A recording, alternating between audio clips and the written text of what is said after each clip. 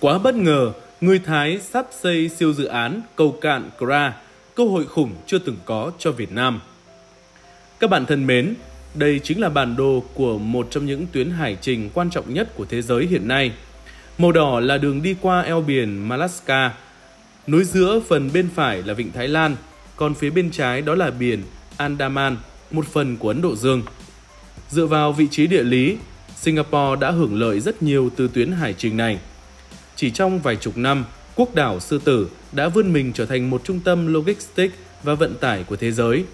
Nhưng mới đây, Thái Lan đã tung ra một siêu dự án hứa hẹn sẽ thay thế vị thế của eo biển Malacca. Liệu với siêu dự án mới này của Thái Lan, Việt Nam có ảnh hưởng gì không? Hãy cùng Bảo Thông Thái tìm hiểu trong video ngày hôm nay. Bên cạnh kênh đảo Kra thì dự án cầu cạn Kra cũng được Thái Lan thai ngén suốt thời gian dài. Dù gặp vô vàn khó khăn và thách thức, nhưng chính phủ Thái Lan chưa bao giờ ngừng tham vọng đối với siêu dự án này. Theo đó, kể từ khi lên nắm quyền vào tháng 9 năm 2013, Thủ tướng Thái Lan Prayut Chan Ocha đã thể hiện quyết tâm mạnh mẽ trong việc triển khai xây dựng dự án cầu cạn cắt ngang qua eo đất Kra ở miền nam Thái Lan, nối tỉnh Chumphon trên vịnh Thái Lan với tỉnh Ranong trên biển Andaman của Ấn Độ Dương. Ông Prayut chan o đã dành rất nhiều thời gian đi khắp thế giới để gặp gỡ, mời chào các nhà đầu tư nước ngoài rót vốn vào dự án cầu cạn khổng lồ ở eo đất Kra. Theo đó, Thái Lan sẽ cho phép các nhà đầu tư nước ngoài được phép sở hữu hơn 50% cổ phần trong các công ty liên doanh với doanh nghiệp nội địa để xây dựng các cảng và cơ sở hạ tầng liên quan trong hai cảng nước sâu Ranong nhìn ra biển Andaman và Chufon nhìn ra vịnh Thái Lan. Hai cảng sẽ được nối với nhau bằng cầu cạn gồm tuyến đường bộ và đường sắt dài khoảng 90 km. Theo các nguồn thông tin từ Thái Lan, cảng ở phía Tây sẽ có công suất xử lý hàng hóa đạt 19 triệu têu, trong khi cảng phía Đông được thiết kế với công suất tối đa 133,8 triệu têu. Tổng cộng hai cảng này sẽ xử lý số lượng hàng hóa tương đương khoảng 23% tổng lượng hàng hóa đi qua eo biển Malacca và có thể cạnh tranh gay gắt với cảng Singapore và Malaysia. Dự án cầu cạn Kra sẽ dự kiến khởi công vào năm 2026, hoàn thành giai đoạn đầu vào năm 2030 và hoàn thiện cả dự án vào năm 2039. Thái Lan hiện tính toán cầu cạn Kra sẽ phải cần khoảng 27,4 tỷ đô la Mỹ để thực hiện. Trước dự án cầu cạn Kra, Thái Lan đã từng ấp ủ dự định xây dựng kênh đảo Kra cắt đôi đất nước trong suốt 4 thập kỷ. Thậm chí dự án kênh đảo Kra còn được gã khổng lồ Trung Quốc nhiệt tình ra sức vận động với dự định coi đây là một phần của sáng kiến vành đai vào con đường trị giá 1.000 tỷ đô la Mỹ. Tuy nhiên, kênh đảo Kra đã vấp phải sự phản đối của nhiều bên vì vấn đề an ninh và môi trường, nên cuối cùng Thái Lan đã chuyển hướng theo đuổi dự án Land Bridge thay vì kênh đảo Kra. Bất chấp việc nhiều nhiều nhà phân tích hoài nghi về tính khả thi của dự án, chính phủ Thái vẫn tỏ ra rất quyết tâm và luôn khẳng định sẽ triển khai đúng kế hoạch. Bởi lẽ siêu dự án cầu cạn Kra được hy vọng sẽ thúc đẩy tổng sản phẩm quốc nội của Thái Lan và tạo ra 280.000 việc làm tại tỉnh Chumphon và Ranong.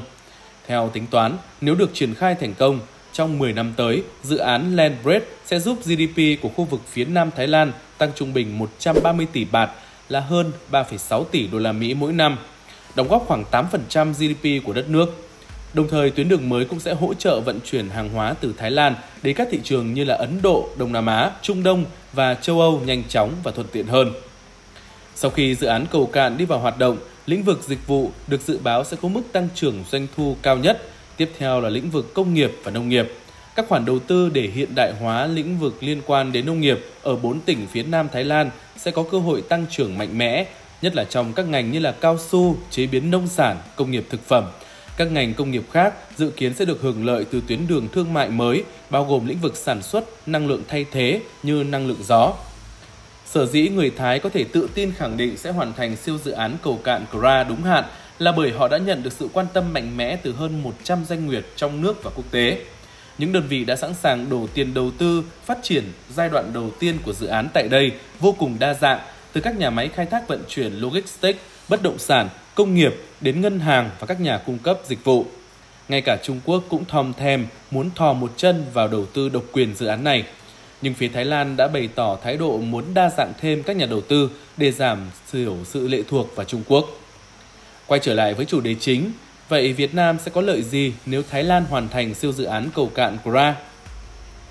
Nếu dự án này được triển khai, chắc chắn Singapore sẽ không mấy vui vẻ. Họ có lý do để lo ngại vì có thể dự báo cho rằng Singapore có thể mất đến 30% tổng kim ngạch thương mại vận tải biển khi cầu cạn này đi vào hoạt động. Và Việt Nam chính là người được hưởng lợi trong phi vụ này, thậm chí có thể thay thế vị thế của Singapore, từng bước leo lên vị trí top 1 trong khu vực Đông Nam Á. Dễ dàng nhận thấy rằng cầu cạn Kora chắc chắn sẽ thu hút thêm nhiều tàu thuyền thay đổi lộ trình từ Ấn Độ Dương sang Thái Bình Dương. Sự gia tăng giao thương và hoạt động logistics từ lượng lớn tàu thuyền qua lại sẽ có phần làm thay đổi diện mạo của các thành phố ven biển của Việt Nam, đặc biệt là các tỉnh phía Nam như là Kiên Giang, Bà Rịa Vũng Tàu sẽ có cơ hội phát triển mạnh mẽ. Với vị trí địa lý chiến lược thuận lợi, tỉnh Kiên Giang được dự đoán sẽ trở thành một trong những cửa ngõ quan trọng của Việt Nam, đặc biệt là đối với các hoạt động thương mại và du lịch. Trong đó, Phú Quốc, hòn đảo Ngọc Việt Nam sẽ được hưởng lợi rất lớn từ việc rút ngắn thời gian vận chuyển hàng hóa và đón tiếp du khách. Đồng thời, mảng logistics nơi đây cũng sẽ bùng nổ hơn khi đảo có thể dễ dàng đón tiếp các tàu thuyền từ Thái Bình Dương qua Biển Đông tiến vào vịnh Thái Lan và qua cầu cạn Kra trước khi tiếp tục hành trình đến Ấn Độ Dương.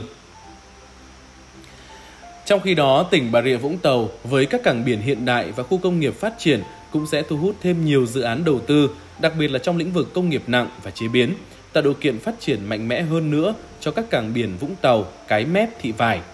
Ngoài ra, các tỉnh ven biển khác như Cà Mau, Bình Thuận, Ninh Thuận, Khánh Hòa cũng sẽ được hưởng lợi từ việc tăng cường kết nối giao thông và phát triển kinh tế biển khi siêu dự án cầu cạn cora đi vào hoạt động. Nói chung, sau khi siêu dự án cầu cạn cora được khai thông, tuyến đường hàng hải quốc tế sẽ uốn lượn dọc theo và bó sát các thành phố duyên hải của Việt Nam, từ Phú Quốc đến Vịnh Vân Phong rồi vươn ra Vịnh Thái Lan. Những khu vực thuộc lãnh hải Việt Nam sẽ trở nên nhộn nhịp hơn bao giờ hết, tạo ra một hành lang thương mại sầm uất, mở ra vô số cơ hội kinh doanh và du lịch cho Việt Nam. Đến đây thì video ngày hôm nay cũng đã kết thúc rồi. Các bạn nghĩ như thế nào về vấn đề này? Hãy để lại bình luận bên dưới cho mình biết nhé. Nếu thấy video hay, hãy like và chia sẻ để nhiều người cùng xem. Và cũng đừng quên nhấn follow kênh để giúp Bảo Thông Thái sớm đạt 50.000 lượt đăng ký nha. Còn bây giờ, xin chào và hẹn gặp lại ở những video tiếp theo.